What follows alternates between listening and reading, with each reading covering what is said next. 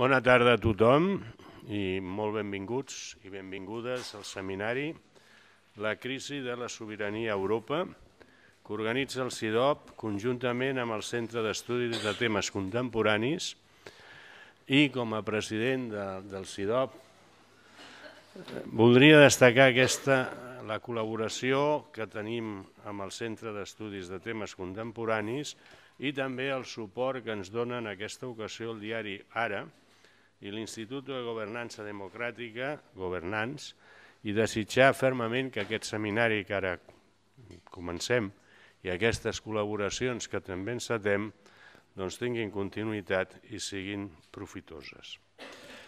Aquest seminari ens ocuparà aquesta tarda i continuarà demà al matí.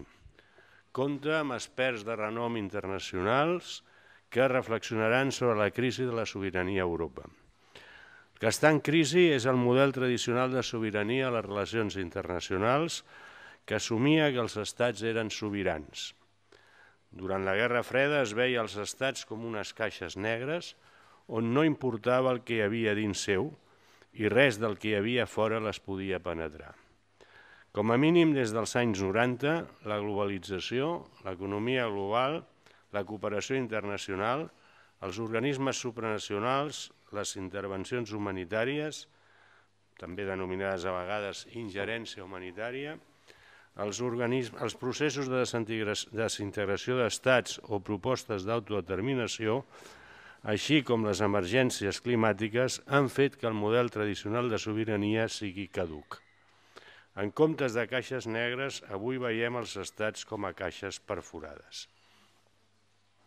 En termes polítics, el dictamen de l'Acord Suprema del Canadà de 1998 i la posterior Llei de Claretat de 1999 assenyalen un abans i un després, ja que per primera vegada es legisla sobre la possibilitat d'iniciar un procés de secessió o de segregació d'un territori d'un estat de dret i democràtic, diferenciant el denominat dret a decidir del dret d'autodeterminació, propi dels processos de descolonització, que no era el cas del Quebec. La llei de claretat va servir d'inspiració en el cas del referèndum de secessió plantejat pel govern escocès i pactat, acord de l'octubre l'any 2012, amb el govern del Regne Unit. El referèndum d'Escòcia, que va tenir lloc al setembre de 2014, complia, doncs, amb les dues exigències bàsiques de la llei de claretat. L'aplicació del principi democràtic per acord bilateral i una pregunta clara eh, i concisa. Indirectament, la llei de claretat també és una referència en el procés de separació de Montenegro de l'ex-Jugoslàvia, o hauríem de dir ja pràcticament de Sèrbia, perquè en aquells moments només quedaven Sèrbia i Montenegro de l'ex-Jugoslàvia. No així en el cas de Kosovo, que va anar per un procés o per una via diferent. A l'Europa d'avui, la contestació de la sobirania ve tant de dalt com de baix, començant per casa nostra, on a més del procés de Catalunya, la ciutat de Barcelona reclama més projecció internacional i estableix xarxes de cooperació amb altres ciutats, una projecció que estava tradicionalment reservada als estats. Des de dalt, la Unió Europea reclama que els estats membres cedeixin sobirania per a una unió política, social i econòmica, per fer un projecte comú, però el Brexit o els partits de dretes euroscèptics evidencien que, per contra, moltes veus desitgen reforçar la sobirania als estats. Aquestes qüestions les discutirem sobretot aquesta tarda.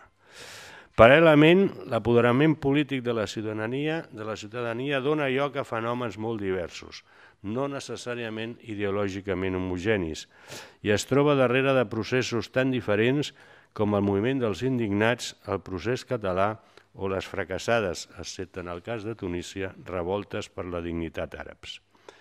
La crisi de la sobirania, però, no és només política.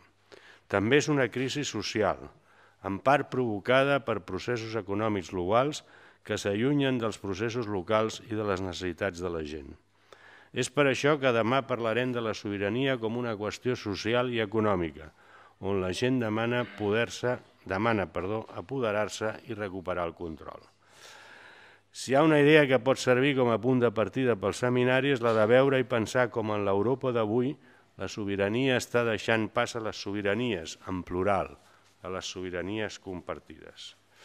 Voldria agrair-los a tots vostès la seva presència aquí aquesta tarda i els convido a que tornin a venir per descomptat demà al matí en la segona part d'aquest seminari. Voldria també agrair a tots els que han fet possible aquest seminari, tant els membres del CIDOP com de les institucions amb les quals col·laborem, i especialment no puc deixar de mencionar Pol Vergés, que, mm, perquè és que m'ha conduït una mica amb el contingut del seminari per poder dir aquestes poques paraules que he dit ara. Eh, ara passaré la paraula a la secretària d'Acció Exterior i de la Unió Europea de la Generalitat de Catalunya, Mireia Borrell Porta, que ens parlarà de la visió europeista de Catalunya amb la presentació del Pla Europa.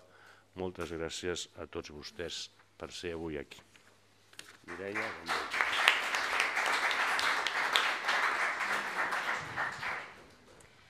Moltes gràcies, eh, president, Antoni eh, per la càlida benvinguda. És sempre un plaer venir aquí al, al CIDOP i també agraeixo eh, molt la col·laboració entre la Generalitat i el CIDOB en aquest cas, eh, més específicament des de la Generalitat, el Centre d'Estudis de, de Temes Contemporanis. Um, I very much appreciate such a distinguished group of speakers and panelists for accepting our invitation to come here in Barcelona to have this very relevant and we think very timely as well discussion.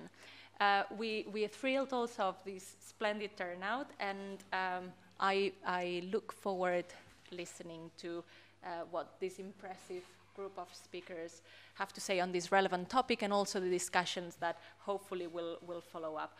I myself, as uh, uh, the president of CIDOB has said, would like to make a few comments on how we see the situation um, and, and, and our remarks on Europe. Since this administration took office, one of our priorities has been the relationship with the European Union that we think needs to be renovated. Um, I myself love Europe. It's, it's part of me, it's part of my identity, my history, my culture, also my education, um, uh, which was uh, in, in Great Britain, maybe not in the European Union for long, but surely in, in Europe. And I'm not alone. Um, Catalans have always looked up at Europe with admiration, with relief, with pride, to be part of a community of citizens that cherish and fights for human rights, fights for freedom, for respect of minorities, and so, and so on. So it's, in a nutshell, it's the values of uh, the founding fathers that Catalans have always looked up to. Um, and of course, there's been uh, a, somehow a disappointment after the 1st of October in 2017, uh, after the sort of non-response uh, of the European Union. We could discuss whether there should have been a response or not, but um, there's this feeling, and, and of course people feel disappointed, but they feel disappointed precisely because we have this European identity so much within our hearts that then um, it's, it's people that you feel mostly most close to that uh, they can disappoint you the most. Uh, so we've missed it, we've missed the, the, use of soft power from the European Union, and more importantly, we feel that this non-response is a symptom of a bigger problem. As uh, Tony Judt used to say, for Europe to play part in the world on the scale of its wealth and its population and its capacities, Europe has to be united in some way. And he goes on saying, and Europe is not united. Indeed, this, I would say, is one of the key reasons why we are holding this uh, seminar today. Um, it is time to decide, and we've taken from uh, La Generalitat this very seriously, it is time to decide whether to move forward, whether to move backwards in the political union and in the integration process. I think it was Jean Monnet who said, the European Union is like a bicycle, so if you don't move um, you just fall down, right? So, so it's still under construction. So we need to decide whether we go forward with the political union, but also we need to decide um, who do we want to design this political union? Do we want the states to design it, or do we, do we want to change and be the citizens that become key players in this project? In the aftermath of a recent global crisis, there's been a growing discontent towards the institutions where sovereignty has been deposited in the post-Second World War order. We have seen in the last years that this discontent is being used to fuel the rise of strong strongman leaderships who are now challenging the very foundations of democracy and reshaping the global world order. And as in the rest of the world, in the last years, the EU institutions have proved, we could say, rather unequipped to manage in a satisfactory way the global economic, migratory, and also environmental crisis. And even more, the EU gave up on its internal political issues without even trying, sort of mediating in them. I'd like to refer to Peter Mair when he said uh, in several of his articles, actually, that what Europe needs is politicization. So, so far it's been this sort of sedated giant. I think it was Vivien Schmidt who said that. And he suggested that if we're not allowing opposition in the European Union, in Europe, within Europe, then what we have is opposition to Europe. And this is what we're actually seeing now, opposition to Europe, to the European Union, um, and to the European uh, Union institutions. We're very aware of this trend in Catalonia and would love to contribute to reverse it. Catalonia aspires to its freedom to govern better and more closely the affairs of their citizens, and to do so by deepening democracy, extending the rights and freedoms, and in the framework of a stronger Europe that can face global challenges. In this context, uh, Catalonia and its government has always advocated and championed for more Europe, more integration, more federalization, and democratization. And here is where the Europe plan that uh, uh, the President mentioned uh, comes in.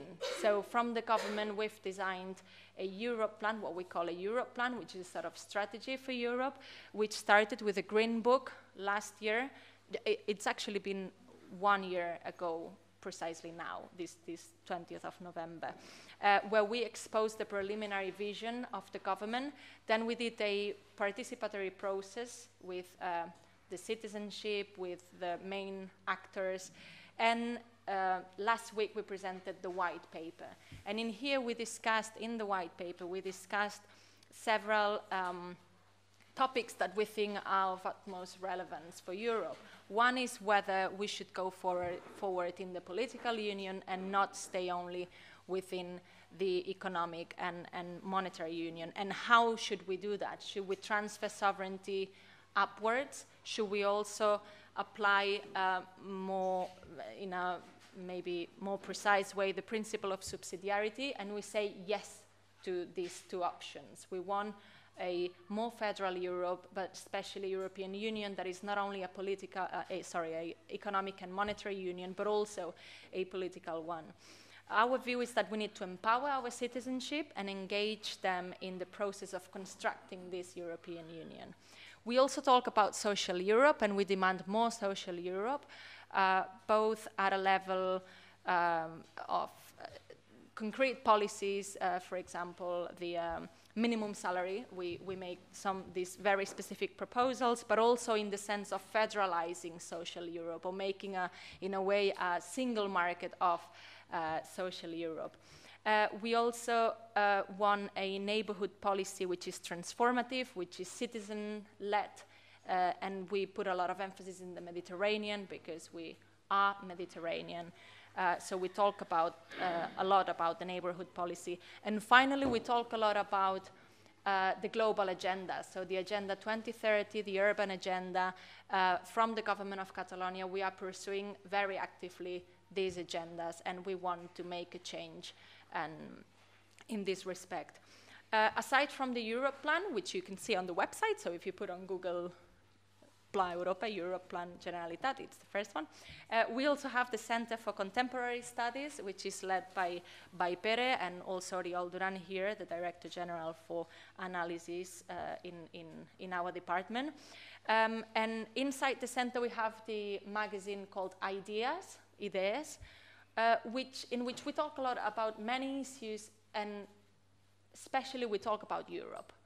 Um, from we talk about from analysis and proposals to the creation of new stories focusing on politics, democracy, economics, social perspective, uh, migration, and so on.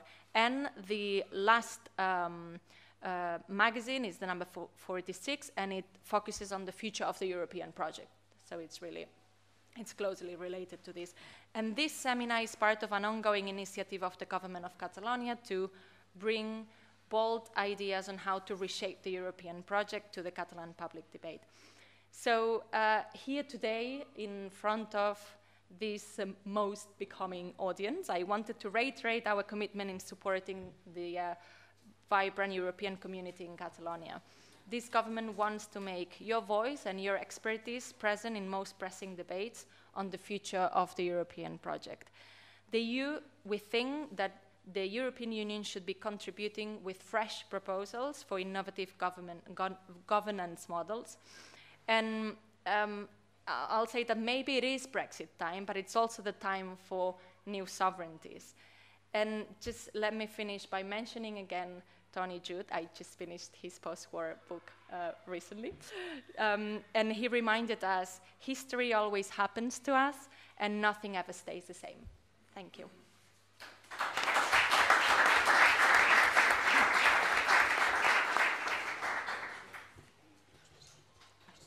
And, uh, perdó, eh, perdó. Ja, li passo, li passo la paraula per eh, una introducció al, al Pol Morillas, el director del CIDOP, eh, que ens explicarà no, el que fan amb, amb, amb Europa i el projecte europeu. Gràcies. Ai, perdona. Moltes gràcies, uh, secretària. She has posed a challenge to me because my notes are all in Catalan and she decided to speak uh, in perfect English, so I'll, I'll, I'll, switch to Catalan if that's all right for our guests uh, and, and, and continue with our, um, to name some of the activities that we do from, from CIDOB.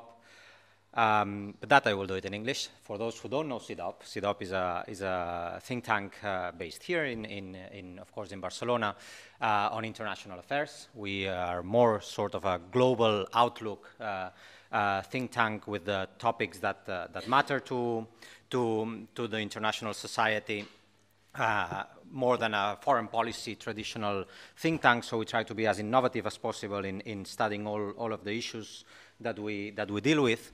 Um, and we've been doing this since 1973, so it's the, the, the longest standing uh, think tank here, uh, of course, in, in, in, Catalonia, but also in Spain, uh, and also um, in most places of Europe, excluding the UK, of course, with which you have a long-standing relationship, uh, relationship with, uh, with think tanks. But uh, so much for the presentation of, of where we are. Um, I ara sí que voldria agrair molt uh, especialment al centre dirigit pel, pel Pere Almeda i evidentment a la secretaria per la iniciativa de poder discutir. Una de les qüestions que crec que és fonamental eh, en, en aquests moments, no només per centres de recerca com aquest, com CIDOP, no només per la secretaria i el centre d'estudis de temes contemporanis, sinó també per la societat en el seu conjunt, i és eh, tot el que té a veure amb el futur de la Unió Europea, eh, el debat sobre quin tipus de sobiranies eh, és capaç la Unió Europea eh, d'absorbir i, de, i de jugar en, el seu, en el seu entramat institucional i per tant és un tema que des de sempre eh, el futur de la Unió Europea, l'estat de la integració europea, els grans debats eh, en l'àmbit europeu, tant dintre dels estats membres com en el conjunt de la Unió Europea estan eh, protagonitzant com deia, no només el debat entre experts, sinó també el debat públic i cada cop més, i m'agradaria insistir en això, cada cop més el debat públic. Eh, jo durant la crisi de l'euro sempre feia la mateixa broma, diguem, per, per explicar una mica i, i, i enumerar això, aquesta clara eh, intenció d'entendre què és Europa, preguntant si se sabia en aquell moment qui era el ministre de Finances grec i tothom ràpidament deia Varoufakis i ningú en tenia cap dubte, cosa que probablement fa 10 o 15 anys ningú hagués sapigut el qui era el ministre de Finances grec en un país com aquest. I per tant el fet de que hi hagi major exposició a temes europeus ja és un primer senyal que la ciutadania eh, l'importa el que és Europa i l'importa sobretot el, el futur d'Europa i per tant bona part de la nostra feina com a think tank és facilitar aquest trànsit d'idees des, de la, des del coneixement, des de la generació del coneixement expert, passant per, evidentment, les institucions, però també intentant arribar com més possible a la ciutadania en el seu conjunt, a la societat en el seu conjunt, que reclama coneixement i que eh, se'n beneficia i vol dir-hi la seva.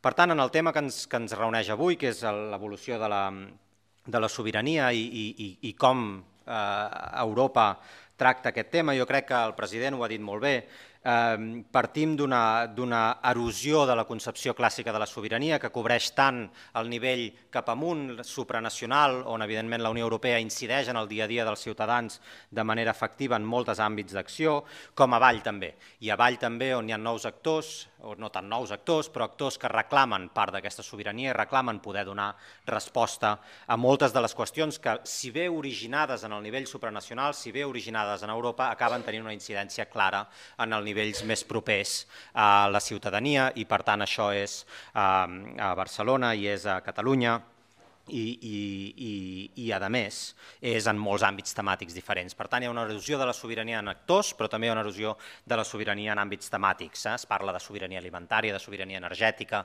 de sobirania en la gestió de les migracions, de sobirania econòmica, tots aquests aspectes que fan que també la sobirania sigui contestada des d'un punt de vista temàtic.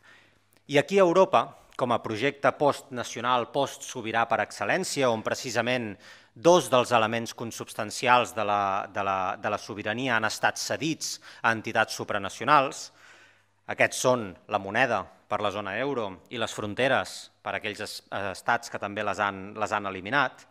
Li queda un dels espais per de sobirania per cedir a l'exèrcit, encara amb moltes dificultats per avançar en matèria de, de defensa i seguretat a nivell europeu, però en tot cas emergeix com un projecte postnacional per excel·lència i precisament un projecte que posa damunt de la taula la necessitat de, davant de reptes globals, davant de eh, situacions que s'escapen del control dels estats membres, ser capaços precisament d'abordar-les en un nivell supranacional, moltes vegades, i avui cada cop més, amb la sensació de que si no ho fem en aquest nivell, poc ho podrem fer al nivell, al nivell estatal perquè, com deia aquell, els estats europeus o són petits o encara no, soben, no saben que són petits i, per tant, necessiten aquesta cooperació eh, supranacional.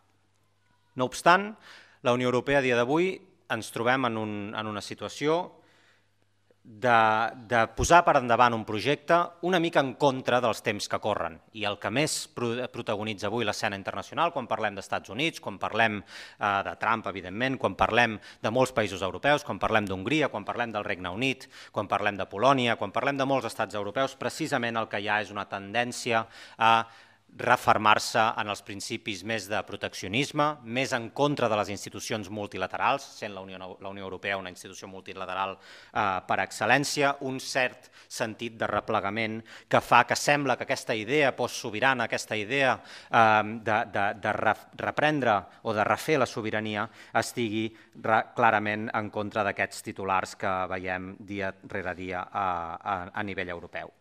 I per tant aquí està el nucli de l'interès per nosaltres, diguem, com a centre de relacions internacionals eh, amb una gran projecció europea, però també amb una voluntat d'incidir en les realitats que ens toquen més de prop, tenim per davant intentar entendre i contribuir amb la resta de centres europeus quina visió volem per Europa.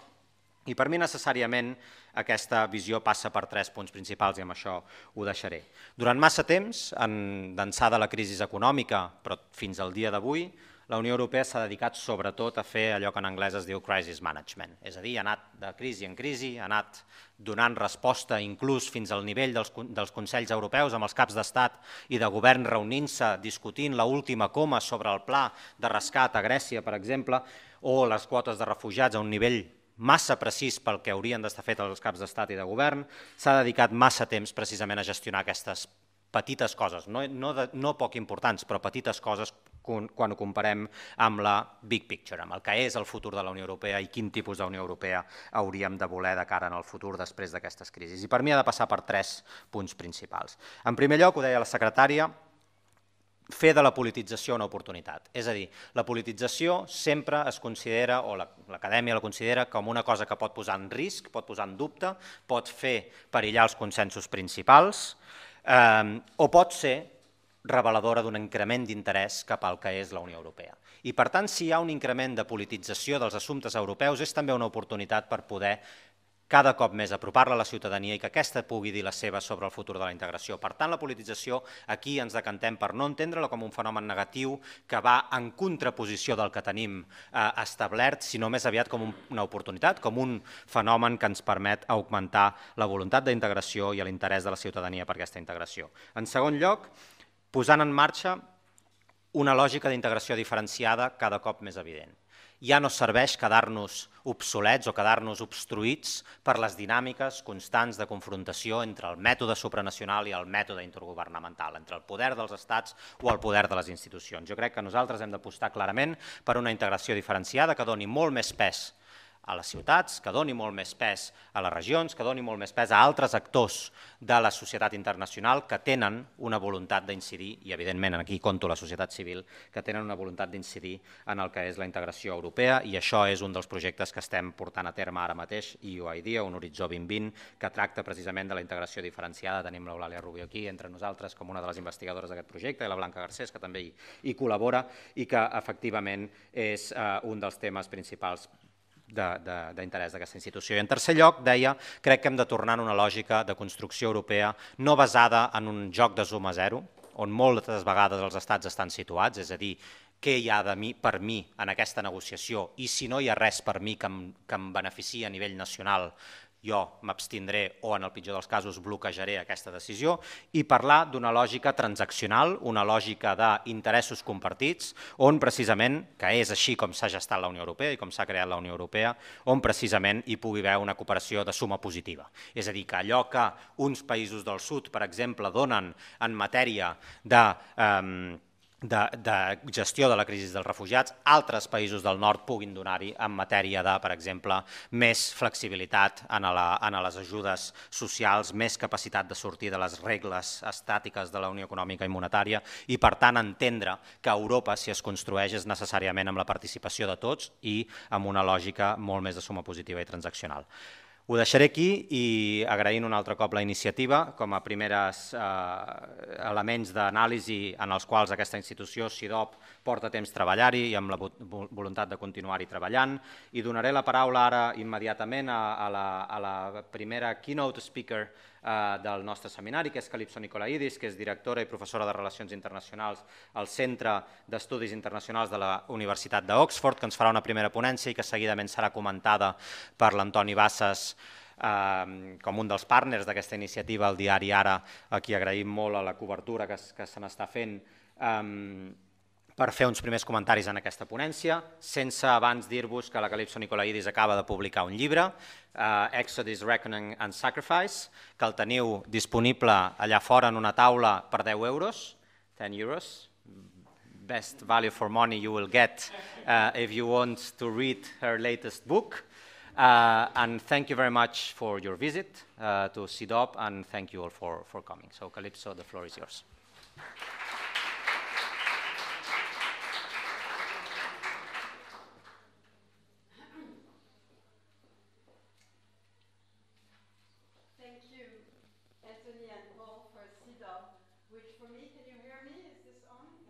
Yeah? Is it on? Which for me, frankly, would be the last think tank I would not know about. It is really a European beacon on the Mediterranean for us in Oxford. I like to call Oxford the Mediterranean on the Thames. So you're Europe on the Mediterranean, and we join hands across the continent to think about the future of this continent. And I also want to thank um, Mirella and Pere for, for the Basque government, sorry, Catalonian government and, and, and its Center for Contemporary Studies, and the way in which think tank world and local government world indeed join hands to think about these intense nested issues of sovereignty together.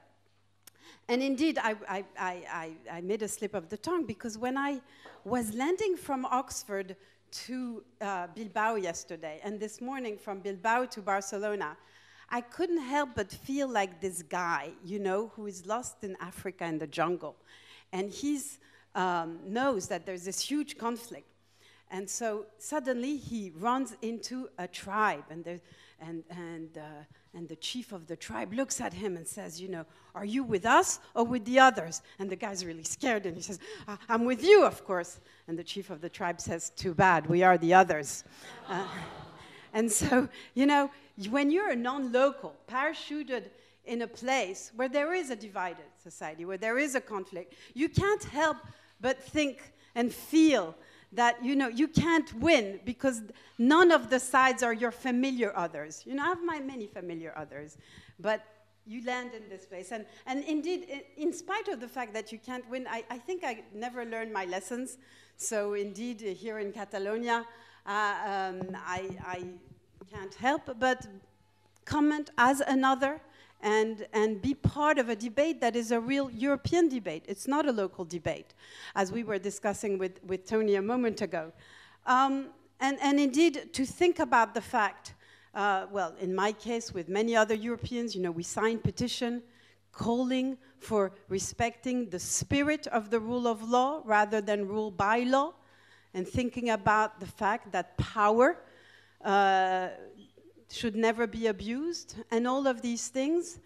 And at the end of the day, what is at stake for us Europeans as we gaze on each other's conflicts and each other's tensions and desperate struggles to try to resolve these conflicts, uh, we can't help but see that there are at least there are three theaters of recognition that interact. There is the theater really at the local level, two sides in Catalonia two sides uh, in Britain, you know, two, two sides. And then in, in, there is the local level, and then there's Spain, Spain versus Catalonia. And then there is Spain overall versus the rest of Europe and the rest of the world.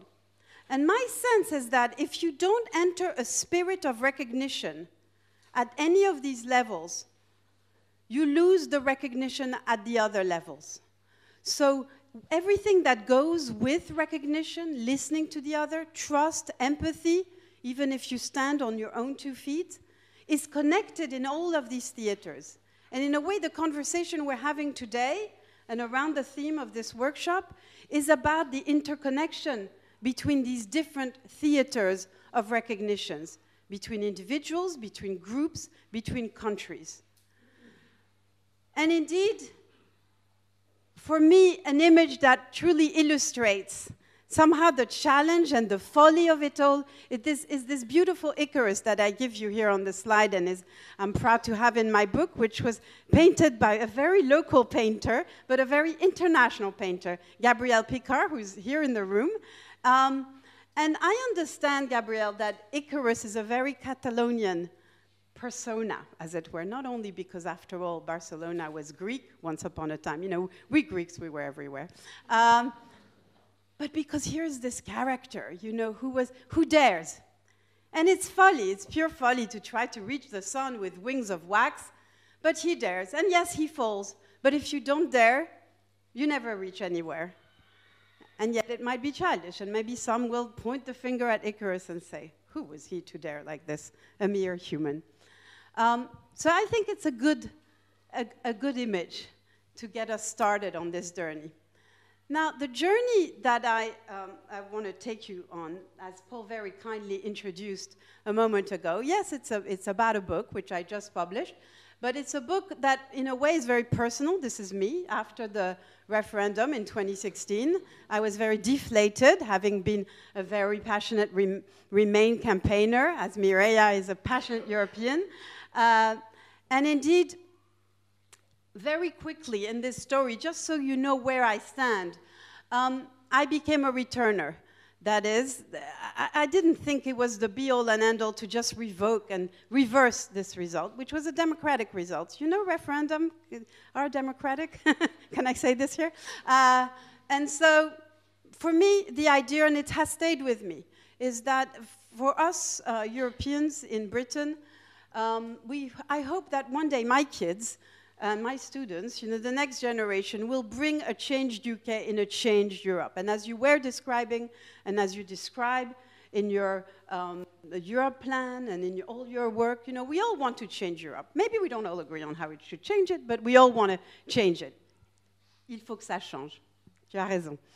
Uh, so we want to change this Europe, and for Brexit, it means, for me, is it possible to imagine a smarter, kinder, gentler Brexit than the kind of Brexit conversations we've had in Europe today, where everybody's pointing the finger to the other side? We are in macho politics. My resolve is bigger than yours. That's mostly what these negotiations are about. And may I say on both sides, I say this to all the Europeanists in the room, it's not just the crazy Brexiters.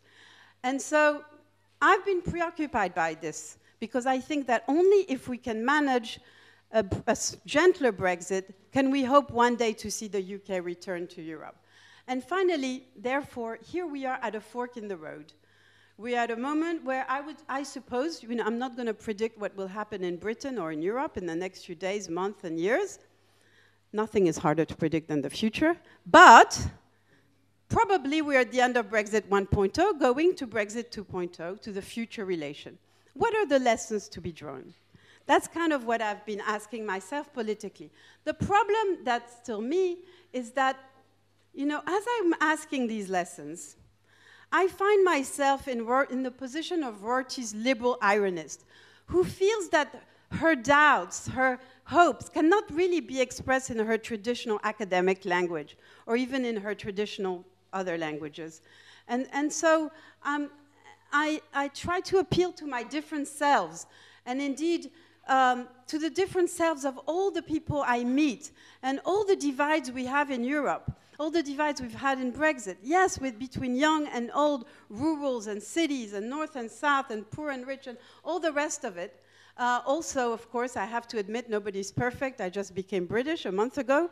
So I, I feel torn, but also drawn. I am actually a freakish French, Greek, British, three nationalities. Um, and it's, it's I have started to feel very schizophrenic, sort of being in this situation um, with these many belongings and many languages. But somehow, this is not what I'm going to talk to you about today. This is not what I want to talk about, because that's what you've been reading in the papers all the time, what it will happen next. As I'm looking for another language, what do I do? I go back to him. Anybody knows who this guy is? Um, on his serves, I can help you here. Uh, he's just lost all his men and all his ships in a, in a sorry? It's Homer who talks about him indeed, Ulysses. Here is Ulysses between Charybdis and Scylla. And I want to take you to a journey with Ulysses and the other heroes that people his world. Uh, and indeed, Ulysses here is between the two monsters, as we always say, Scylla and Charybdis. And in, in, in, in, in, um, in the Brexit situation, what you've had is Europe and British government, for better or worse, trying to navigate between hard Remainers, no Brexit, and hard Brexiters, no deal, um, trying to find a way for this, this country, which you know you may disagree, but decided to leave the EU, to find to navigate. And, and in doing this, of course, encountering what we call in Britain and uh, unicorns, impossible feats. Um, and the problem with Brexit is that you have in Britain about a, a, third of people who are hard Remainer, a third of people no deal. And so together they are a majority, but they never act together. And so, but in a way, this distinction corresponds to a deeper distinction in Europe. And that is between really two fundamental forces the forces of fusion and the forces of fission. Um, that's what really we have in Europe today. Um, and indeed, going back to mythology, forces of fusion are everywhere. You know, we somehow there is always a yearning for oneness, whether we are talking about Madrid or whether we're talking about Brussels. Unity, you know, it's like the hermaphrodite in Plato. You're always looking for your other half, trying to become one. That's one problem in Europe today, but of course we have also the other problem, the problem of fission. Because you know what? What is the meaning of crisis? So Pol told us brilliantly about the crises that are uh, plaguing Europe. Well, you remember at the very beginning of the Iliad, bef way before Ulysses is, is, is all alone in the seas, trying to get back home, he's fighting, we have the fight between Achilles and Agamemnon. And that starts it all. That starts the big crisis of the Greeks. And what, is, what are they trying to fighting over? As usual, that's what guys do. They're fighting over a woman. Um, and this is, he and crisis is part of this story, and it is about the fight to share. What is the crisis about today in Europe? Is that we have forgotten how to share. We don't know how to share our wealth, our in income, but we also don't know how to share our hopes, our fears, risk, precarity. Some are in risk, some have everything. Somehow, we don't know how to share in Europe today. That's the deep meaning of crisis. So if we start to, to think about how to address this crisis, what is at stake here, I take you back now to even earlier than this moment in the Iliad, even before the Greeks get on their boat to invade Troy. What happens? Well, we have our Ulysses. Ulysses is on his island of Ithaca, you remember, with his wife Penelope. Everybody knows this. And his little baby, Telemachus, has just been born. He's three months old. Ulysses knows that old Palamedes is going to come from the Greeks and try to take him to the war. And he, he conspires with his people and his wife and pretends to be crazy and sowing salt and sand on his fields and singing and plowing backwards. And Palamedes arrived, and everybody's saying, Oh, our master is crazy, he can't go to war. But of course, what does the old Palamedes do? He takes baby Telemachus, puts him in front of the plow. Ulysses stops, he's not crazy, everybody realizes, and the rest is history. He goes to war, and Penelope cries for 20 years. She does more than crying. Usually, women, you know, pretend to be crying, but they do other things. Um, so, what is this story about? What does Homer try to tell us here? with Ulysses? well, I'll, my reading of this story is that actually the fundamental thing about Ulysses we learn at that moment is not just that the guy is the most cunning Greeks of all, the most courageous soldier and warriors. It is that he is ambivalent. You know, do I want to be a courageous warrior or do I want to be a, at home and build my island and, and plowing the fields? And so, you know, when we look at Europe today, and perhaps we believe that Europe is in part unheroic, maybe that's the problem with Europe. Who wants to die for Europe? But I think that its citizens, us in this room, you, we are actually what I think we are heroically ambivalent. Because it's quite heroic to be ambivalent. But in fact, most of us are ambivalent in life. We have mixed feelings. And indeed, the most fundamental way in Europe in which we have mixed feelings, so here I, the case for ambivalence is, is I give you Machiavelli because he said very well that you, citizens have common sense and you know you should listen to them, Mr. Prince, but politics divides and creates this polarization and these conflicts and killing each other. And if in post-colonial studies you find a lot of thinking about this, how the post-colonial subject both hates and loves its ex-colonizers. In many different fields, we can talk about ambivalence. But my point, perhaps in the book, but perhaps here today in, in Barcelona, is that in our politics today, we need to be able to tap back into our profound ambivalence, which allow us to at least listen to the other. And here I give you Citizens Assembly when we uh, demonstrate for uh, Fridays for the Future in London. This is a very recent picture because I think that it's fascinating to see that how in Citizens Assembly, people arrive on a Friday, they have very polarized opinion, and on a Sunday night they go home and they actually converge to the mean very often, or at least they understand the viewpoint of the other. And here in Europe, um, in, in the topic that occupies us today, sovereignty, and what is sovereignty at different levels of nestedness in Europe, our fundamental ambivalence is between two fundamental Europe, uh, uh, sorry, human instinct. The first instinct is obviously control. Taking back control is the most brilliant slogan ever invented for Brexit. Uh, but you know, I know it very well. My, my dear daughter, Daphne, you know, every day she takes back control by slamming the door in my face of her bedroom. Uh, but nevertheless, she has the other fundamental human instinct, which is cooperation. She comes down and says, Mom, can I help you cook dinner? You know, and we all, I suggest, have a mixture. More or less we care about control, more or less we care about cooperation. But we all have a bit of both to different proportion. And so look at Ulysses, you know, when he is on his, uh, before he loses his ships, and he's on his ship, and he ties himself to the mast so that he wouldn't be attracted by or, or jump in to follow the songs of the sirens. What is the mast in Europe, if not the EU, its norms, its laws? We've all in Europe tied ourselves to the mast of our mutual commitments to shared value. This is what we mean by shared sovereignty. But we don't trust in our national and local instincts. We have to tie ourselves more or less to the mast.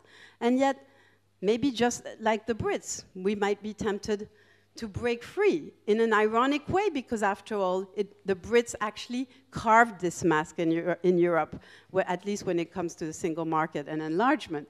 So, this is one of the ironies of Brexit. So, the question then I ask you, I, I you some example of myth story to read our European predicament. And in the book, I say in, in, various places, you know, why do we need to use ancient myth? After all, they are ancient, archetypal. What do they have to do with our modernity? Um, of course, me personally, I was raised by a, a, Greek dad in Paris who wanted to convince us that we were still Greek. And, and this is Calypso with Ulysses and with my name. You know, I did, for me, Greek mythology is in my DNA. But I, I'm pretty sure that most of you in the room uh, also, somehow. It's not just a Western thing, because after all, myths are universal, and all myths in, around the world are variation around the same theme. And what myths do, what going back to mythology do, is I hope they, it's one possible other shared language in which we can have a more civilized conversation. Um, and the beauty of myth is that they have contingent meanings. They ask questions more than they provide answers. And they allow us for an ironic distance of modernity so we can tell them and yet smile. So for me, myth is a language for mutual recognition, that kind of mutual recognition that I was speaking about at the very beginning of our conversation, or my monologue, but I hope will be a conversation very soon. Uh, and more, of course, more. Um, uh, in the longue durée, in a, in a larger way, myths are, are one of the fundamental questions in philosophy, all the way back from when Plato, remember, distinguish between mythos and logos and say we have to go to logos and rationality. But he was a cunning guy himself because he uses a lot of mythos in his Republic. And so for 2,000 years, philosophers have discussed the place of myth uh, in philosophy, and in a way, this is a variation on this theme the book to help provide a kind of philosophy of loyal separation, I call it.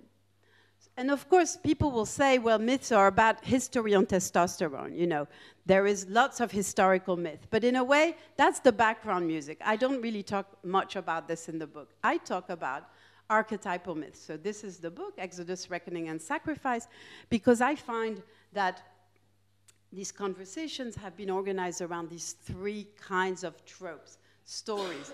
The book is crowdfunded, that's why it's so cheap. Um, because, well, because for me, this is a way of being part of the 21st century. And uh, crowdfunding is a way of signaling this is about the, the conversation. And there's been a lot of conversation with the supporters of the book.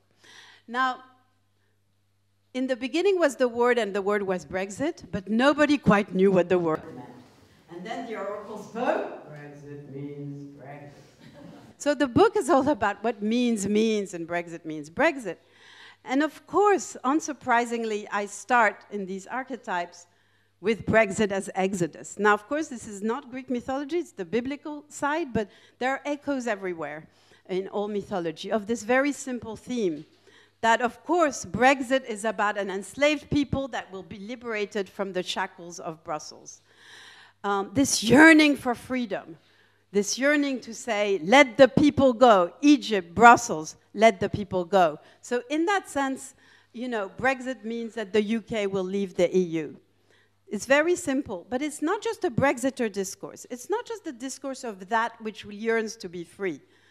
It's also the discourse in the Brexit case, and I don't extrapolate to this country, of the other side, which says, well, this is the British problem. You guys created this problem. Deal with it. It's not our problem. So it's not always the, re the reaction, again, of the other side. But of course, you always have a story where a pharaoh does not want to let the people go. Now, indeed, in every kind of mythical story, what you find is that there is the simple story, but there is always the but. It's always more complicated than that with myth. And of course, we know very well that in Brexit, it's all about the warring tribes. there are many tribes, and here uh, in CIDOB, but elsewhere too, we've all asked whether it's in Britain or elsewhere, what determines this divide? Is it geography? Is it demography? Is it sociology? Yes. Uh, but what we do know in the Bible is that there's a lot of chatter, chatter, chatter in the Bible, and they're very unhappy with Moses, all these tribes. And say, Moses, what, why did you take us out of, of Egypt? We're very unhappy. And you know what, what Moses says literally in the Bible? He, he does say, keep calm and carry on. It's very interesting. Um, so, but of course, there's other ways in which, um, in, in which Brexit um, divides people in, in, in Britain, but elsewhere too. And, and of course, empire nostalgia means that many in Britain do, our Brexiters do think Europe, yes, Europe is too small for them. So we do have these Brits, but we also have Brexiters who think Europe is too big for them. Is Tolkien, is the Shire. They want to go back to their English na nation. So is Europe too big or is it too small?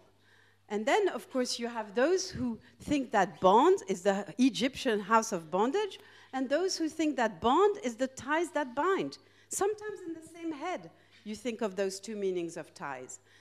And, and, you, and you have all of these divisions. You have the question of, you know, the chosen people in Exodus. How exceptional is British exceptionalism? We do want to ask this when we ask, well, will everyone follow Britain? And of course, in Britain, the island uh, country, um, they do believe to some extent that they are, maybe for good reasons.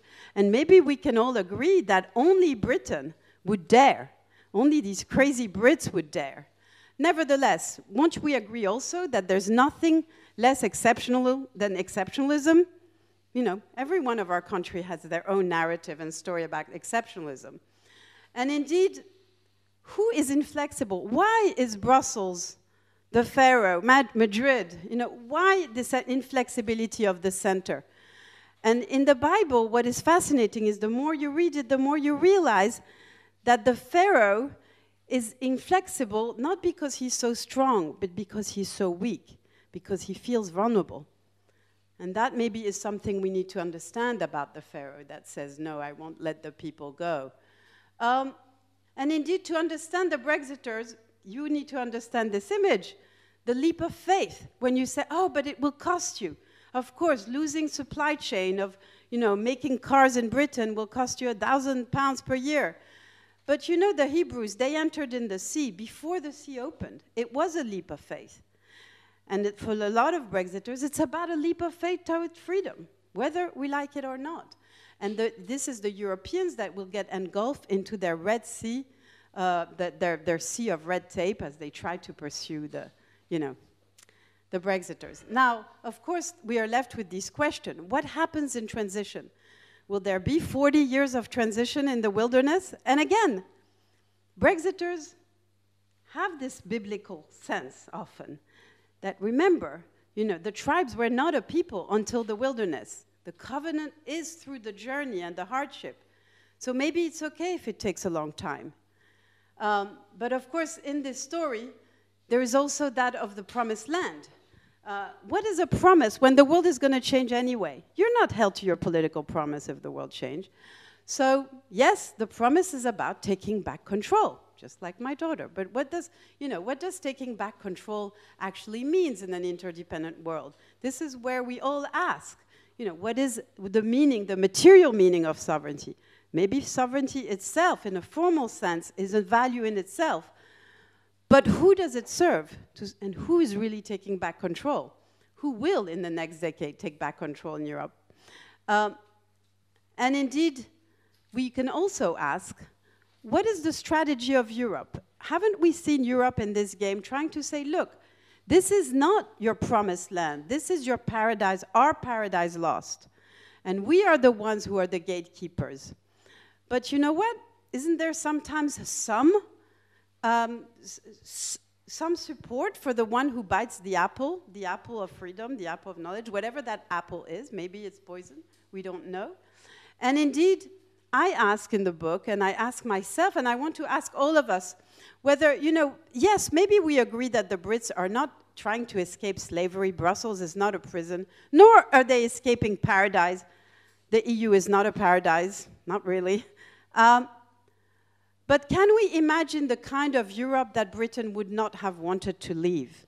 And for me, that Europe is inspired by the goddess, uh, the, the princess Europa, kidnapped by Zeus as a bull, who was not even European. She was from Asia. She lands in Crete at the limes of Europe because I believe that the soul of Europe is in its periphery, in its smaller states, in its limes, and that's the Cretan Europe, not the Christian Europe, that I think we could try to build together, but most Europeans don't somehow see it that way.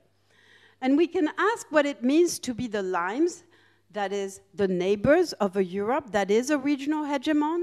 We can ask about the contradiction of a Europe which has a discourse of multilateralism, reciprocity, mutuality. That's the Europe that Mireia loves to, uh, loves to love and that we love to love. And yet, it has no compunction when it deals with its neighbor, whether in the Mediterranean or in the East or tomorrow with Britain, to actually say, hey, you know, we're a regulatory hegemon. We impose our rules unilaterally. Take it or leave it. Sorry, guys, that's our power. We set standards in the world. Is there not a contradiction there? And isn't it fascinating that Brexit is making that contradiction visible? So, indeed, Brexit is about the slaves that you know built. In, why can't the pharaoh let go? Because well, they built the pyramids. And the question will be, hey, you know, the Brits, they helped build our European pyramids. What will it mean for Britain to be a former EU member state? That is an animal that has never existed before in the international system, a former EU member state. We are going to have to imagine what it means together.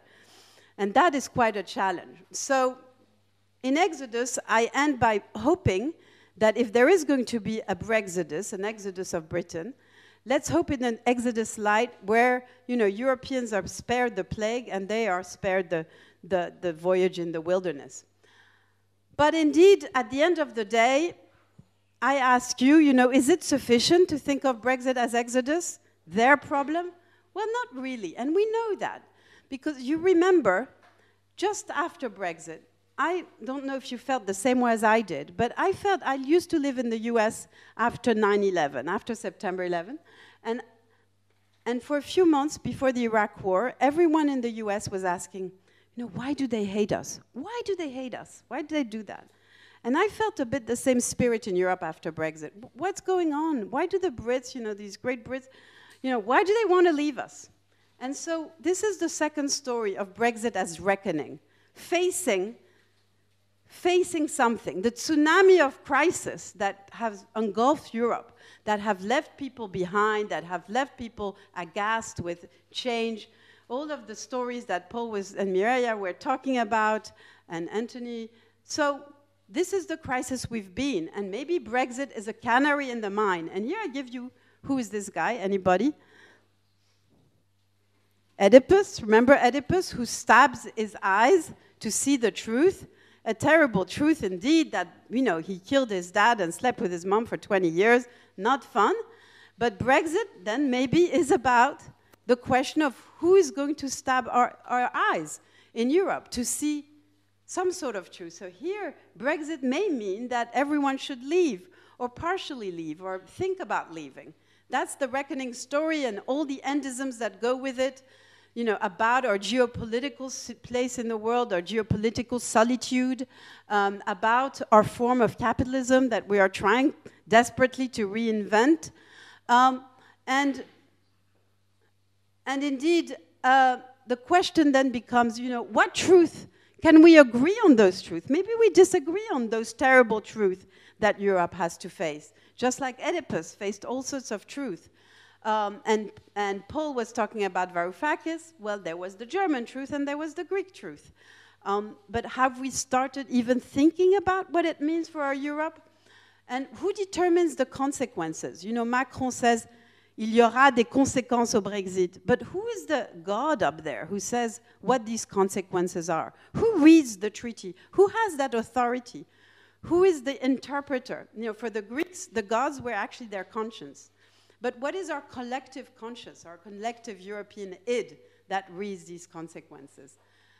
Um, and here is the story of Troy, because that whole story of Ulysses and the voyage of return that is so difficult is all because, of course, these Greeks, they rape women and uh, kill kids and all of that, and they're going to have consequences. That's why they can't get home, um, says Zeus, uh, uh, Macron. Anyway, the, and then the question, of course, that we ask here and we ask together is whose sovereignty is at stake in this European debate? Because yes, you hear from here, I hear that you hear a lot that this is about, Brexit is about national sovereignty, uh, voting against Brussels. But many more uh, Brexiters actually voted against London through Brussels than against Brussels. It was about voting against those elites who seem to conspire together in Brussels and across capital, keeping citizens out. Brexit is at least as much about popular sovereignty as it is about national sovereignty. Or at least it forces us, and this is what we're going to do in the conversation of the seminar, it forces us to think about the relationship between national sovereignty or regional sovereignty and local sovereignty and popular sovereignty. At which level can citizens best exercise their equal dignity, their equal democratic dignity, their popular self determination? Is it in the city, in this region, at the national level, at the European level? Well, Europe hasn't shown that it was at the European level. So, this is certainly something we need to reinvent. And, and indeed, the problem is that when some try to reinvent it in a rather intense way, saying, let the people go, we want to do it our own way, whether it's in Catalonia or whether it's the Brexiters. And I know that this parallel is controversial. We can discuss it. But then, of course, the gods in the, Olymp, uh, in the Olymp will say, This is hubris. How dare you? How dare you, Prometheus, give the fire to the lowly citizens, to the humans? You know, in Greek mythology, those with hubris are always punished, and yet we kind of feel some angst for them, you know, just like Tantalus was punished. And of course, Ariadne, my favorite, you know, the godmother of Me Too, who weaved the, all the rapes of the gods and, you know, was punished by being transformed into a spider. Or indeed, Bruegel's Icarus, the most hubristic of all. So, what do we do with countries, individuals, county, regions that have hubris? You know, how is Europe capable? Is Europe capable of accommodating its exceptionalism and its hubristic, um, beautiful, effervescent diversity? That's a question Europe must face. And so, at the end of this part, yes, I, I, I um, try to give a vision.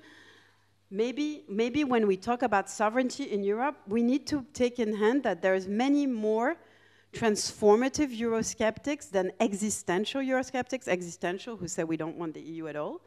But in the Eurosceptic movement, there are those who want to really radically change and indeed implement subsidiarity, not as a, as a vague technocratic kind of uh, criteria, but as a true fundamental criteria. So how do we do that? How do we embrace transformative Euroscepticism? And at the end there, I, I ask, well, maybe the vision for taking back control, stealing the, the, the, the, the, the slogan for the next generation is about taking back control of our future. And one of the big, my, one of my big advocacies these last few years has been that I hope that the EU can pivot from a politics of space to a politics of time. And, and, um, and maybe if we do that, maybe it will inspire again the new generations we can talk more about that. Now, finally, very, very quickly, um, because I know that my time is up. There is a third version of Brexit, which is neither Brexit as something that's British or something about reckoning about our past or our present. It's about this moment. Brexit as sacrifice goes back to Bereshit in the Bible in Hebrew, which means in the beginning. And in the beginning, what you always have with humans is human sacrifice or animal sacrifice for the sake of something. And in this story, then, the third meaning of Brexit is that the UK leaves the EU in order to save it. A very French version, but a very Brussels version too of Brexit. You know, ces Brexiteurs qui ont toujours un veto, ces Britanniques qui, qui empêchent l'Europe d'avancer. Okay, so we get rid of these headaches. What is it? Uh, con mora Mosca? Mosca con conojera. we are having a semantic debate. Um, mosca conojeras. so, you know, let's get rid of these headaches and let's advance Europe. And of course, we hear this a lot these days. New beginning for Europe thanks to Brexit. But, and of course, there's always a but in every story. First of all, that you see in this painting that we, what we know, there's always an scapegoat. If we don't know if Iphigenia, who was sacrificed for the Greeks to go to Troy, you know, on the altar, we don't know if she's going to be dead or alive. There's always many versions to this story. And, but more importantly, you know, all of this yearning and all this Brexit story and all of our stories here, they happen against the backdrop of heroic sacrifice. Men and women who in, in the past have struggled for our freedoms. I think the body politics is all the scars that we still have from these stories of struggles, which we tend to forget. And of course, in the Brexit case, you heard the voices on the radio of the soldiers in 1418 and all of their stories. And that was the background music, a hundred years of memory. So, yes, you can talk about sacrifice, but it's not a heroic sacrifice, guys. It's an ironic sacrifice. Always look at the bright side of life. You know, and the Brits are really, really good with irony. You should listen to all of the really comedy shows about Brexit. I'm not sure you get enough of them here in Spain um, about Brexit. I won't say bad word. Um, and so, you know, then we are left by the end of this story with more questions. If you really see Brexit as sacrifice, you know, it's usually sacrifice for control, yeah. You know, controlling the weather, controlling something. But in this case, what, what really are we going to control? What is it that you want that you can really control by reasserting your, your local space? And maybe you can control, but maybe there are different things you can control at different levels. And of course, the EU uh, why is the EU sometimes ready to sacrifice the relationship? Because for the EU, it's always in the name of principle, the Bible. And we can come back to these principles.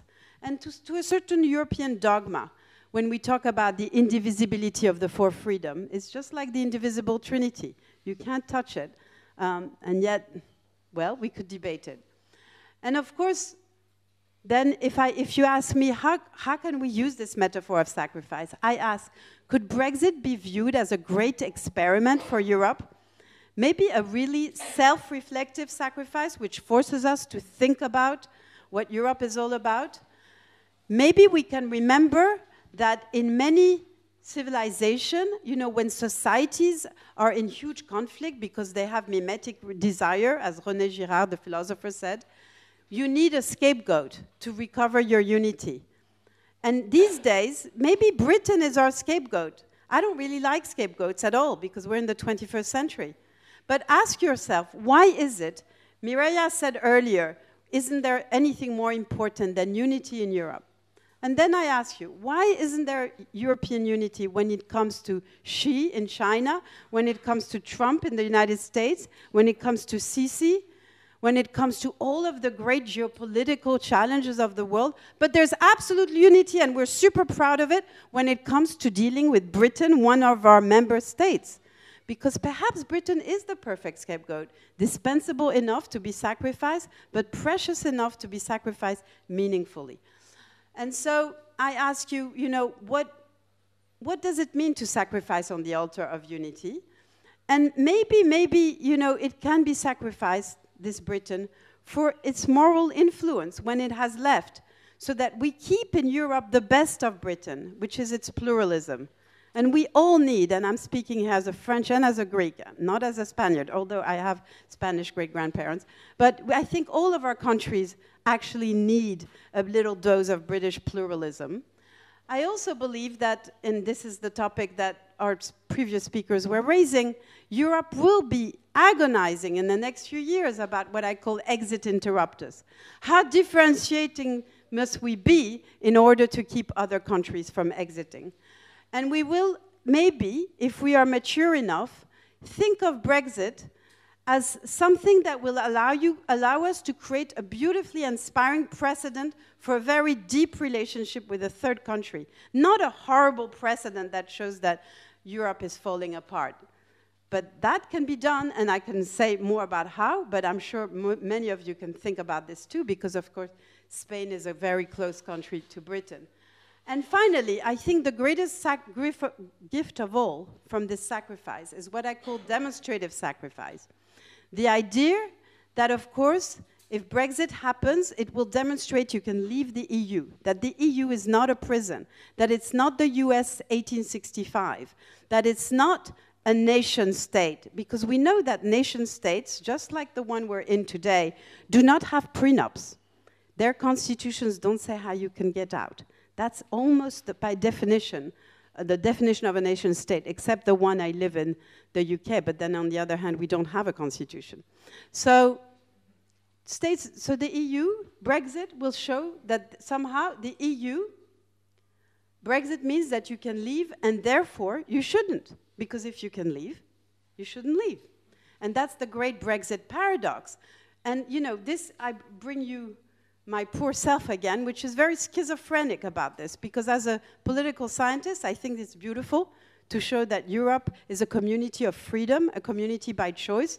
But of course, as a European citizen and as a freakish citizen, French, Greek, and British, I, I really don't like Brexit, so I'm schizophrenic. And indeed, being schizophrenic, I see this story from all sides, and I invite you to see the story from all sides because that's how we can rebuild trust from all our sides.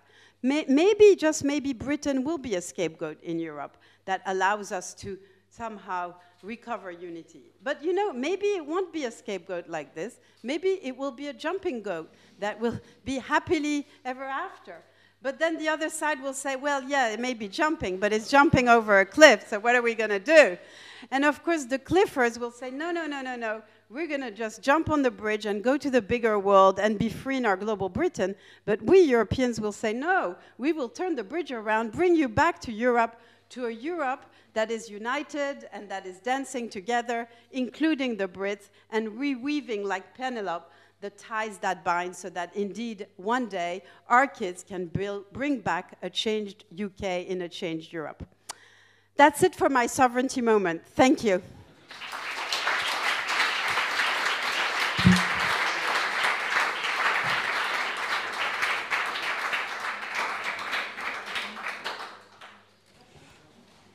Well, thank you very much, Professor Nicolaïdis, for this brilliant talk.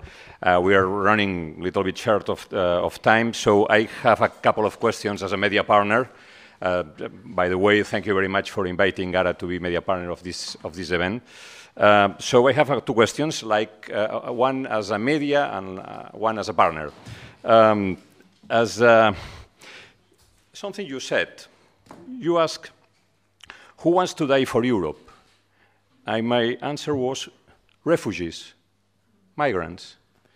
Is, this, is that, uh, I think it's a sad uh, situation. Um, that um, remembers me um, something that George Steiner said once, or wrote such uh, once. Um, the phrase was, the day uh, that uh, the Holocaust happens, um, Europe commits suicide. Do you think that refugees crisis mm, says something similar to Europe nowadays? Tony, I think your answer is in your question. and having talked with you earlier, I believe that. And also because we're here in Barcelona, which is one of the many reasons why I, I love this city, many reasons, is indeed its stance on the refugee question and its offer to become uh, you know, a host country, a host city, like others, and um, and the promise in that gesture that perhaps we can invent in Europe a way of dealing with refugees that are that is really pluralist and decentralized. You know, in Oxford, we I'm part of a sanctuary network for refugees, but the state is the gatekeeper. We can't access refugees somehow as citizens unless and until our state says yes. And of course, it's very much the case here in Spain too.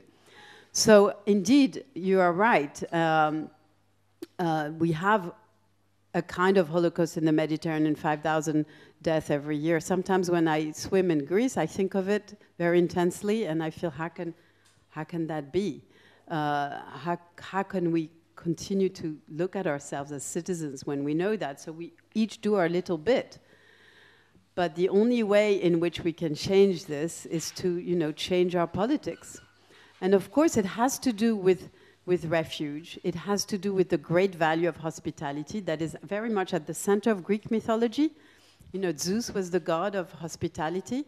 Um, but of course, even Kant didn't, didn't say, you know, hospitality is simply opening your doors to everyone. He thought very hard about what it, what it actually means because you have to have the capacity to be a hospitable um, in a real deep sense.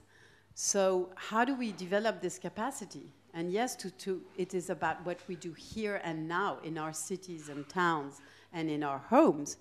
But it's also how we change our states, but it's also how we work with, for instance, the Marrakesh Declaration on circular migration.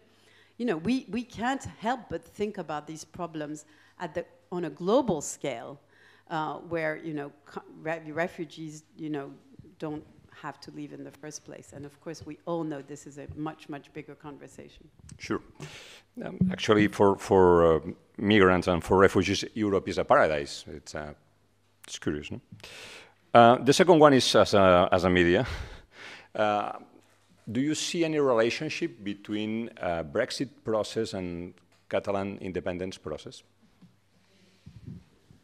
Well, above all, I want to send this question back to both the panel and the Catalan uh, government and uh, everyone in the room.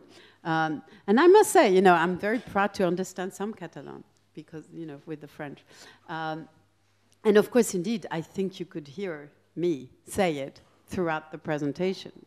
And it, it's a question that obviously deserves many yeses and many nos uh, and how these two relate is complicated. And, the, and I know that, I mean, it, I find, speaking to friends and colleagues in the Basque country and here, that it's a difficult parallel it's, it's, a, it's a one that is very hard to wrap our head around because, of course, these Brexiters aren't they xenophobic and close on themselves and nationalistic? And aren't we Catalan, you know, worldly, cosmopolitan, open city, open to refugees, and all of that? Isn't our nationalism a different kind of nationalism? Well, yes and no. I mean, isn't there in common several things? First of all, the yearning to take back control that's kind of 101 of any secessionist movement, and Brexit is a secessionist movement just like the Catalan one is, absolutely.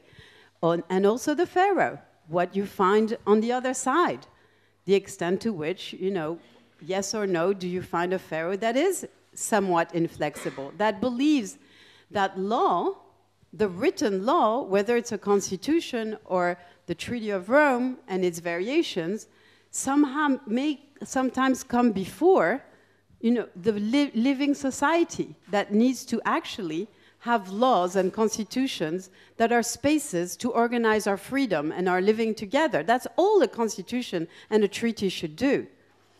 And you also have a situation where you have self anointed interpreters of the Bible, the law, the treaty, the constitutions.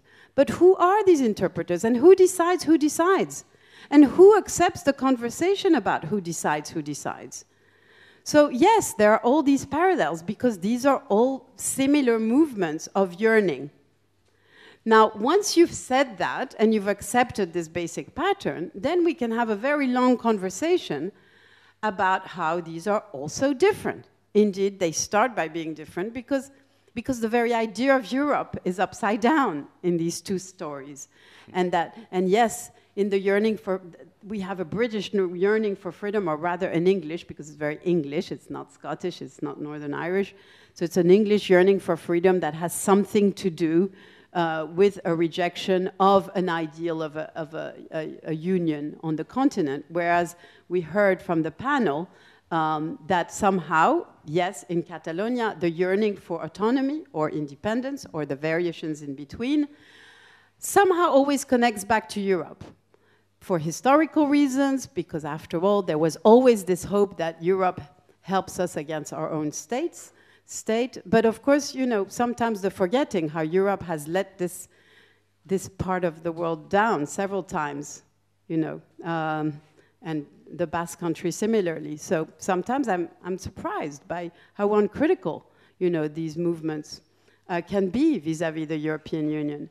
Uh, but that aside, uh, I, yes, definitely there is a sense that Europe is the hope of region, is the hope of cities, um, and that somehow that's. But I ask us ourselves, isn't that a dreamt Europe? You know, since when do regions and cities have a voice in Brussels? We're not there yet. And you can say, well, yes, but, you know, it will happen. Or you can also say, well, yes, but Europe makes us more powerful vis-a-vis the, the rest of the world. Who are we, you know, here locally to act vis-a-vis China? You can say all of this. But nevertheless, I think that Europe that we can dream of, that the Brits wouldn't want to leave, and that the Catalans and the Basques still believe in, you know, is, doesn't entirely exist. And it's for us to invent it and reinvent it all the time. So I'm sorry I didn't give you a simple answer, but I do think that the parallel between Brexit and the, Catal the movement in Catalan and still the situation in the Basque country, and indeed the reinvention of federalism in Spain, but also in Belgium and all over Europe, you know, all of these are part of the same question of how we create unions in Europe that truly respect the autonomy of its members, of its component, but that these members have to earn their autonomy, and the way they do this is by being radically open to each other. That's, that's the price of freedom. Yeah. Well, thank you very much. I'm sure that there will be questions in the room, so uh, someone has to be the first.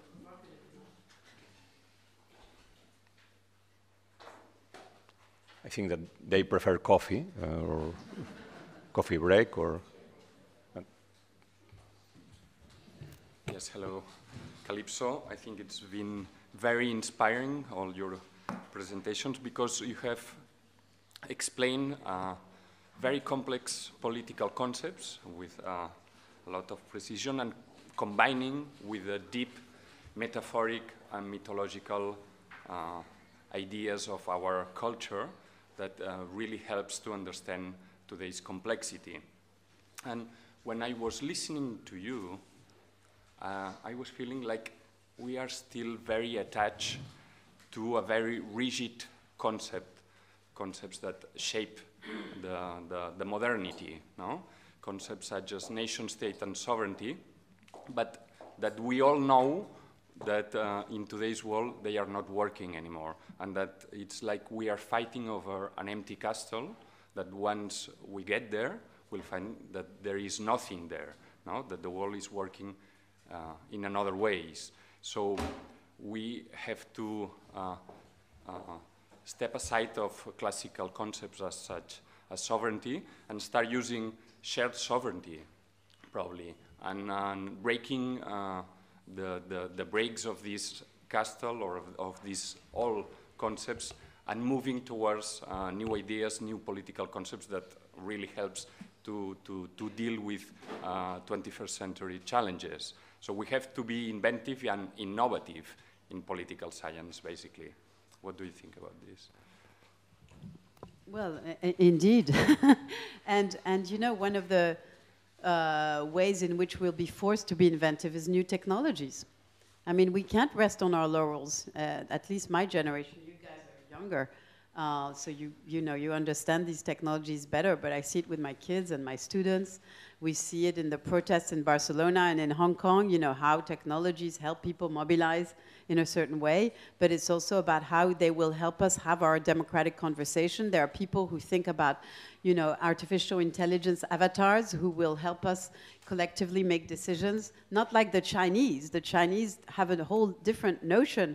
They think they're inventive. They think they're going to reinvent democracy as a huge, big quantum computer and artificial intelligence that will make the uh, optimal decision for very happy, happy Chinese. Now, that's a different kind of imagination, but I think we in Europe need to be showing ourselves that we can think long term, that it is urgent to think long term, and that you don't need a five year plan, that in fact a five year plan disempowers people, and that people in China do not own the future, even if their government pretend that they can forecast and, and make big plans. So for me, that reinvention has to be about the capacity in the present to think longer term and to have technology help us reinvent democracy. That, for me, is the next frontier. There are many things to say about that, but your generation knows it better than I do.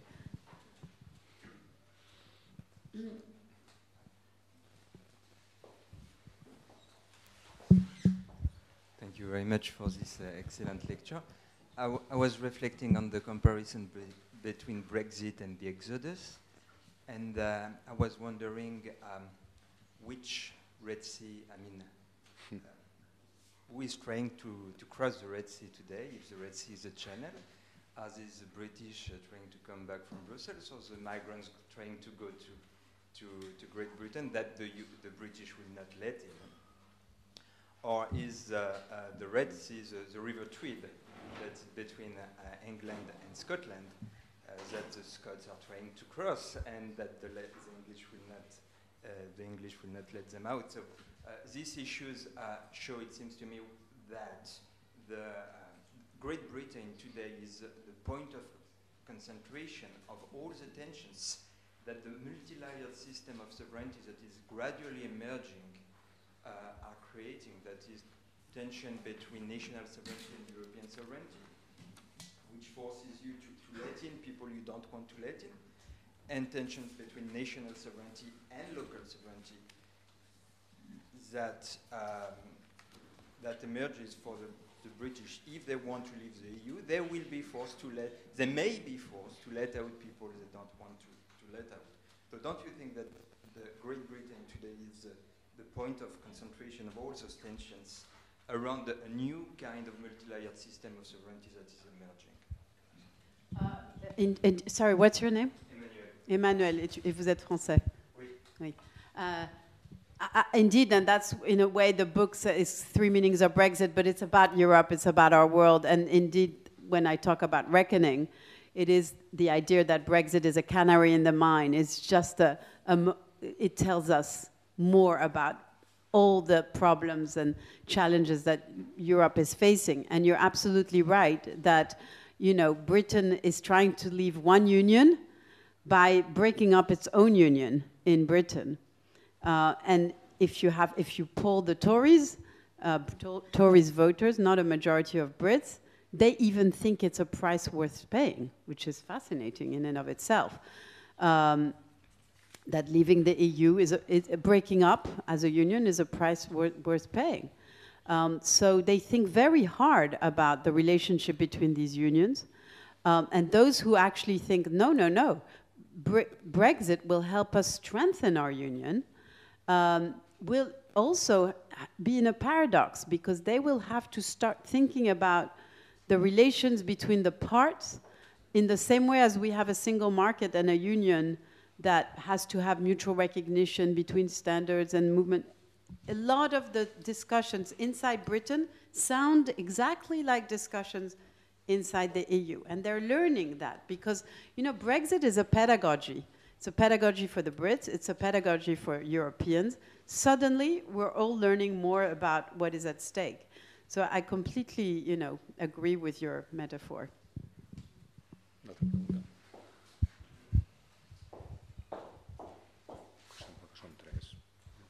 Thank you, Professor Nicolaïdis, for your thought-provoking uh, presentation. I wanted to ask you, you, you mentioned in your presentation that Brexit could be an ambitious external um, project in the sense that um, it could foster cooperation in, in the next phase of Brexit, in Brexit 2.0. Um, with the existing uh, tension between Europeans and the Brits, and uh, well, personally, I'm of the view that Brexit should carry on because, as you said, it was a democratic uh, decision, no matter how much we can regret it. Uh, what steps do you think can be taken in order to foster this cooperation or agreement in the next phase of Brexit?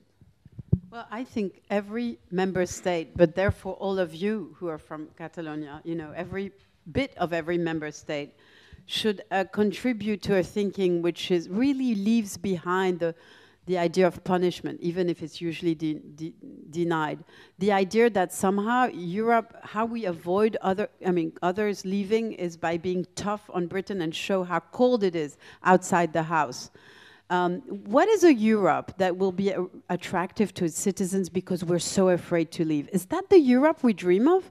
No, I think a magnanimous Europe, which says, okay, yeah, our member states decided to leave, one of our biggest one, you know, it's really sad, we're still sad about it, but let's make the best out of it, and let's realize that in this bigger world of ours, in the, we have this very intense geopolitical solitude as Europe. Yes, we are a declining continent.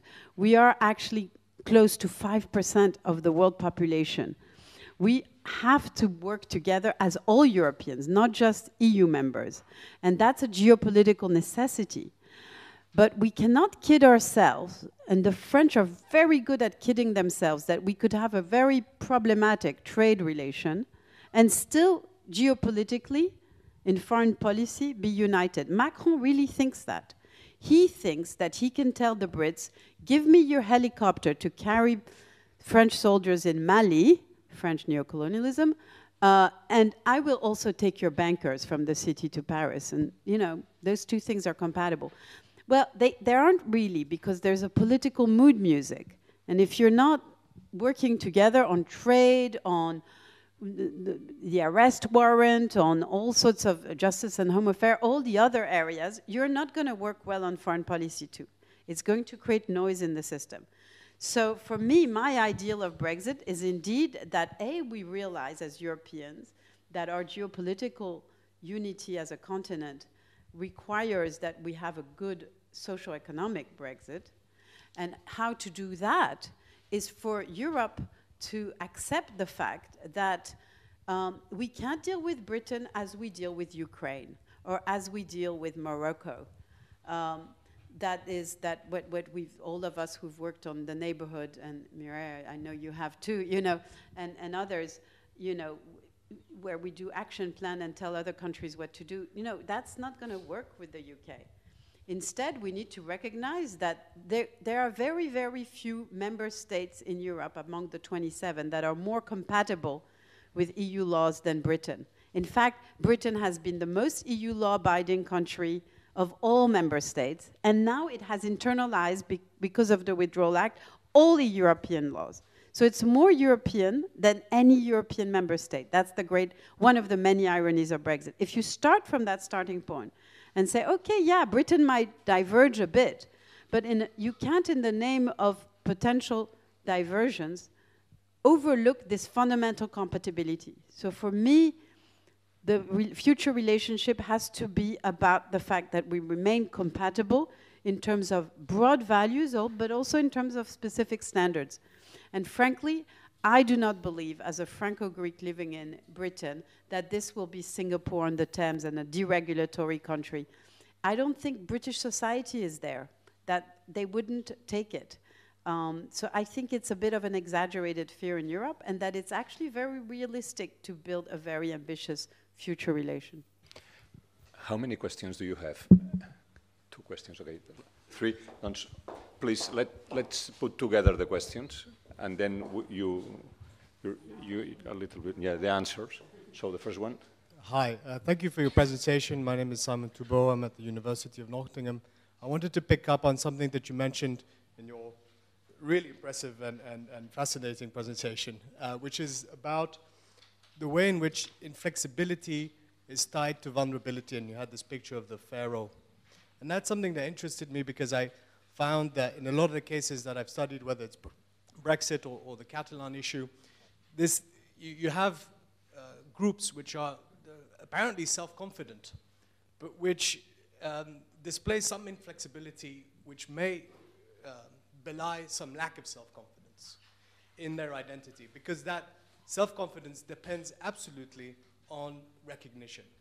That we, we depend on external recognition in order to feel that we are being um, in order to exercise our, ident our identity and, to feel respected. And that's something that's quite curious. People who are self-confident, one might presume, don't necessarily have to depend on recognition.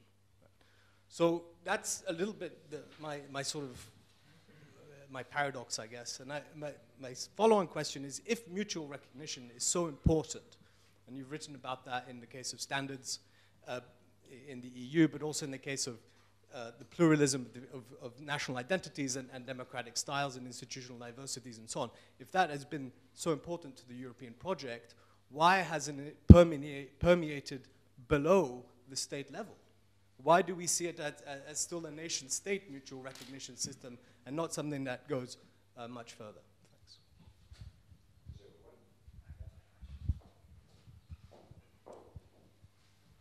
Thank you. Uh, Patricia Garcia Duran from the University of Barcelona. what is your first name? Patricia.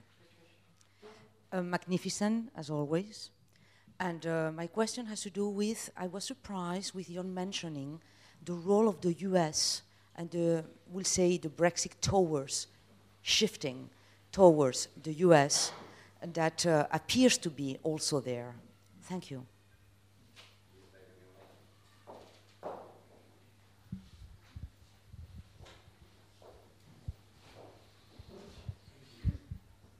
Hi, my name is Paul Tyler. Um, I'm British, I live here. I'm half Greek, and my wife is French, so I feel we have a lot in common. I loved it. I loved all the mythology. It was a, a great presentation. I'll be buying your book. Uh, thank you. I wanted to ask people talk about Brexit as though it's happened, but I think one thing that's underplayed here is the real possibility of a second referendum. If the Tories don't get a majority, there's a real possibility of a second referendum that might be won by the Remainers. How is Europe going to respond to that? Will they, will they throw us out anyway? Is it, is it a done deal anyway? Thank you very much, and go ahead. I mean, all of these questions are about the conversation that we're going to have at over coffee because they're huge.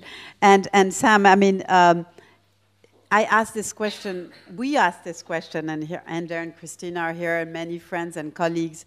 You know, it's a question we all agonize over: how these different levels of recognition, you know, relate to one another. Because, of course, recognition is the secret to, uh, you know, a healthy democracy. And what is the pathology of Europe today? It's not so much some, we need some magic bullet in Brussels and have more power to the European Parliament. All this is very artificial. The key to everything is the health of our national democracies in each of our countries. And, and indeed, um, when you have upheavals like, like here, yes, you, the, the question is what is happening to the elites of our countries? And you know, yes, we have populism that is an anti-elitism, but we have different kinds of elitism. You know, we have extractive elites. Extractive elites materially because they extract the wealth or they extract the power that they have inherited from decades and they want to hold on to it. And that's why, you're right, Sam, they feel illegitimate for better or worse and, they, uh, and therefore they barricade themselves within the institutions that have frozen their power.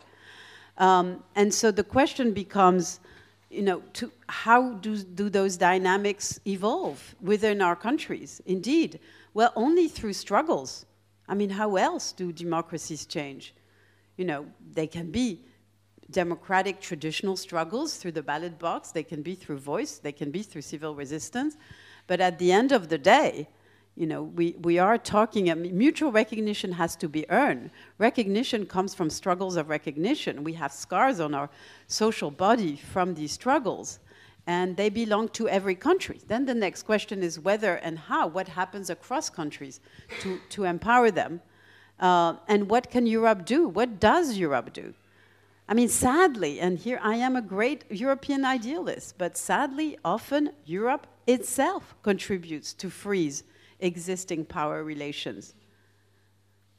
That's the reality of the Europe we have today. There are other forces. It does also empower minorities and progressive forces. It does both. That's why Europe is schizophrenic. Europe is about democratic empowerment and about democratic suppression at one and the same time. So if we interna internalize this schizophrenia of Europe, I think ourselves as European citizens have to be kind of constructively schizophrenic as, on, as to how we, and we do that, I say we in this room because I think we're not the extractive elites. I think we, think tank, local governments, you know, academics, we are the defiant elites. At least that's how I like to think of us, you know. Well, we're not that rich, right? So anyway. Um, and so, Patricia, the role of the US, I mean, all of these conversations, of course, are in the shadow of the transatlantic relations and what is happening to it before Trump, of course. But Trump's makes a huge difference. What would be Brexit without Trump? Would be a, a completely different story. Um, So, and, and uh, in a way, Trump is good news because I think for, for, for those who believe in European Union to the, and for Britain that says close to Europe, because it's quite obvious that since the beginning of this story, you know, every time we've had an international challenge, whether uh, it was in Britain with the poisoning or whether it's global climate change or in Bolsonaro, whatever it is, Britain is always on the side of its European partners. Always. Not, never with Trump. And when poor Boris has to stand with next to Donald on the tribune and have a press conference and Donald said, Yeah, sure, we'll buy the NHS. You know, I buy anything. I buy the towers and the NHS and whatever I And, you know, five minutes later, he has to eat his word because Boris, you know, tells him, Look, I won't be reelected if you don't deny what you just said. So, you know, he's been more of an embarrassment than anything. The, and, and that's, you know, but that's the moment. Now, I think structurally, structurally, the question will be with us as to whether and how you know, Britain staying, the Europeans in general, uh, will indeed carve, you know, a place for themselves in this new, bad new world that we're in. Um, uh, indeed, and maybe this is time. I mean, I am part of those who still continues to believe that, you know, we, we, we, we still a transatlantic community. Um, but nevertheless, you know, this, will, this is Europe's moment uh, where we really are seeing how um, in, indeed the euro, for me, is, has been extremely lethal as an economic instrument. And, you know, I'm Greek after all. But it is a geopolitical asset. And when you see what is happening with Iran, and in fact, even with China, you know, this is, this is going to be the, the moment where we have to decide and show that we can act autonomously from, from the US. Doesn't mean against the US and bigger discussion. And finally, my brother Paul Taylor. Uh, um, indeed, it's very nice to meet another freakish um, in this room. Um, and uh, yeah, 50-50, we might have a second referendum. There, there are really two different very different second referendum that could happen. You know, you could have a scenario where um, the Lib Dems and Labour together form a government. Um, and, and in this case, you'd have a very strange moment where Corbyn has promised to negotiate a new deal that will be really uh, encapsulated by the idea that Britain, for so many years, was in, almost out, and for Corbyn, it will create, it will be out almost in. That's the kind of, you know, Brexit that Corbyn wants, and that many Remainers, you know, have, that's our second best, you know, maybe. So he'll negotiate that, and it will not be too hard because Brussels will kind of love it, yeah. Uh, but what kind of choice will it be for British citizens to have this, you know, this kind of super soft Brexit versus Remain? That, uh, um, and first of all, it will be very bizarre because then the, the Labour Party would actually campaign against its own deal. That's a bit surreal in politics. And, but secondly, you will have half the country with, that will feel disenfranchised because that's not, they, they won't have a, a voice. So you could imagine a second referendum where a majority votes for Remain. After all, we might, we might as well go for the real thing. But with, you know, much lower absolute figures. And this is a, whole big question about democracy. Is it about percentages, absolute you know, who gets mobilized and who feels that their voice has been heard. And then there's a second scenario where actually Boris Johnson needs the Lib Dems to, and as a price, he, he, um, they say we need a confirmatory vote. So that's Remain against your deal, the Boris Johnson deal, a relatively hard Brexit, although, mind you, we don't really know because the political declaration is very vague. And, um, and there again, you know, absolutely, the polls show two things that are very fascinating for anyone who's interested in democratic theory. One is the, the so-called death curve. So last spring, the two curves crossed. That is, if you just assume that nobody changes their mind in Britain, but just the people who voted Brexit die, have died, and, and the young people are now voting, getting to be 18. Uh, just simply for that demographic evolution, we've reached a stage where there, more, there will be more than more Remain than Leavers. And then you add to this who changed their mind and how, and it makes a complicated picture because there's about five, six, seven, eight percent of Leavers who've become Remainers because they see the mess and all of that, they've learned. On the other hand, there's almost the same numbers of Remainers who are staunch Democrats before Europe file. That is, they believe we should honor the referendum even though they're still for Remain. And so if you take all of this and mix well, it's basically another huge mess and huge uncertainty. So I'm never going to predict what will happen next. Sorry, Polos. So, Kalypso, uh, moltes gràcies. Eucharistos, uh, thank you very much. Gràcies. Uh, coffee break.